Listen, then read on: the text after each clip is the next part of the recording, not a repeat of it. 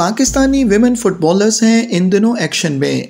Tajikistan के हिस्ट्रो central stadium में Pakistan, Tajikistan Hong Kong और फिलिपाइन की खातन फुटबॉल टीम्स के दरमियान है मुकाबला।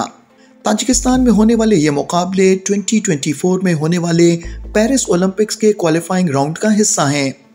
ग्रुप ई के इन मैचेस से अगले राउंड के लिए क्वालिफाई करने के लिए फेवरेट टीम फिलिपाइन की है। पाकिस्तानी वेमेन फुटबॉल टीम का पहला ही मैच फिलिपाइन के खिलाफ था। फिलिपाइन की टीम पाकिस्तानी वेमेन टीम के खिलाफ ये मैच सिफर के मुकाबले में चार गोल से जीतने में कामयाब रही। पाकिस्तानी वेमेन फुटबॉल टीम का दूसरा मुकाबला आठ अप्रैल को हांगकांग की टीम से होगा। ये मैच पाकिस्तानी वक्त के मुताबिक शाम चार बजे खेला जाएगा। पाकिस्तानी विमेन फुटबॉल टीम का तीसरा मुकाबला ताजिकिस्तान से है।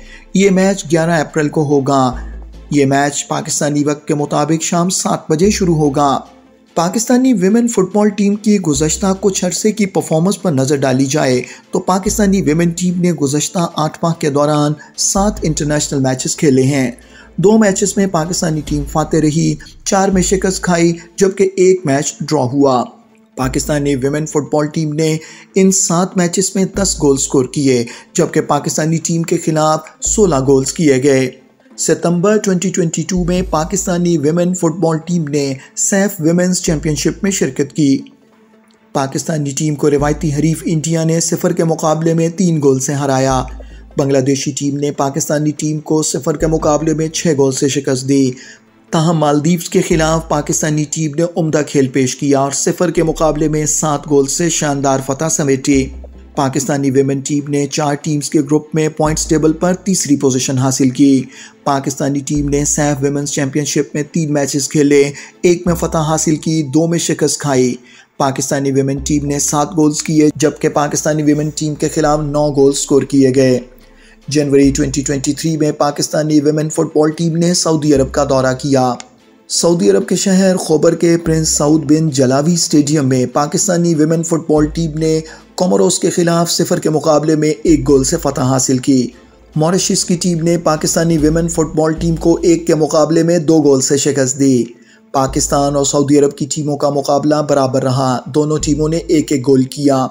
इस दौरे में पाकिस्तानी वेमेन टीम ने मजमू तौर पर तीन मैचेस खेले।